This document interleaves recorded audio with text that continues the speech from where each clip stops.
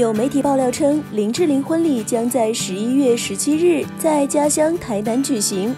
随后有媒体致电林志玲哥哥，他回应表示：“我不方便多说什么。”求证林志玲经纪人，对方回应表示：“非常感谢媒体朋友们的关爱。当天是一个小小至亲好友家庭宴会，一定会提早分享最幸福的影像给到大家。真的很抱歉没有广大邀请。”会选在台南，是作为女儿，希望创造跟爸爸妈妈一样的回忆，共筑温馨。谢谢大家，辛苦了。非凡娱乐实时报道。